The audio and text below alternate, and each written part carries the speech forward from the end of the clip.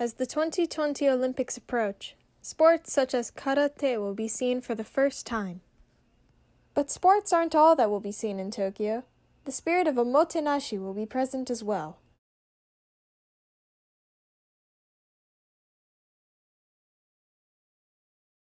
Omotenashi represents the ever present hospitality demonstrated in Japan. When one demonstrates omotenashi, they abandon their own self interests for the good of others. During the Olympics in Tokyo, one may see many signs of omotenashi, such as service workers bowing or being given a hot towel at a restaurant. This hospitality represents the charity of Japan, and it can show us how to be more hospitable to others.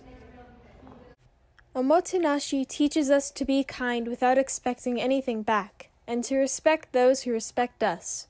At the 2020 Olympics and beyond, let's all show this respect. Show